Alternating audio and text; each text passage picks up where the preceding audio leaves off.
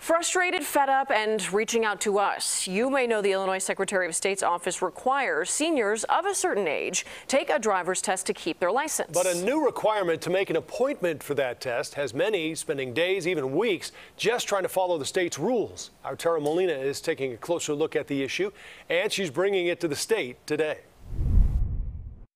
You can't just walk into an office like this one for the required senior driver's test anymore. You have to make an appointment, and it could take weeks to find that appointment if this is the closest office to you. Some tell us they never even got that lucky. It's luck, and it shouldn't be down to luck. Luck. That's what it takes. It's me. Again, gray means no appointment available. To follow the state's rules and requirements when it comes to senior drivers.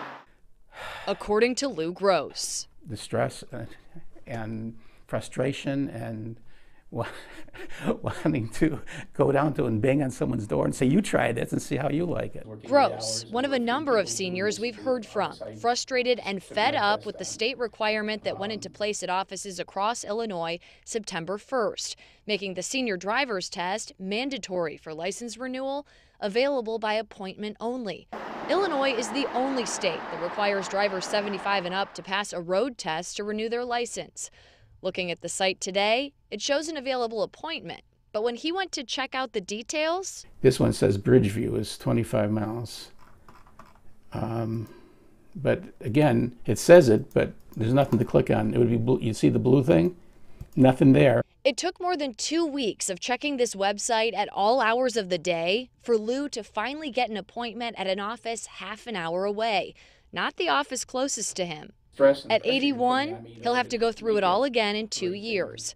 His hope in speaking out, the state will make this process better for everyone long before then. My wife works, I work. I think maybe people have an impression of seniors like we have nothing better to do than sit around all day waiting for appointments. We first reached the Secretary of State's office with the concerns we've been hearing since the appointment requirement went into effect more than a month ago, asking for a sit down interview. Today, we received answers to our questions in writing, and the office did not acknowledge concerns we raised about the difficulty people are having securing appointments, saying in part, quote, the Skip the Line program has been functioning at a high level since its official launch. Since launching the program on September 1st, more than 435,000 appointments have been scheduled, going on to say customers are experiencing little to no wait times. But that wasn't Lou's experience. My appointment was for 3 p.m. I don't think I got in the car. It was like 4:30, quarter to 20 to 5. His message for the Secretary of State's office: If you're going to require us to do this so frequently, find a way to make this easier. Again, we first reached the state weeks ago with these concerns. You can read the full response we received from them in this story. It's up on our website right now. We'll continue to dig into this.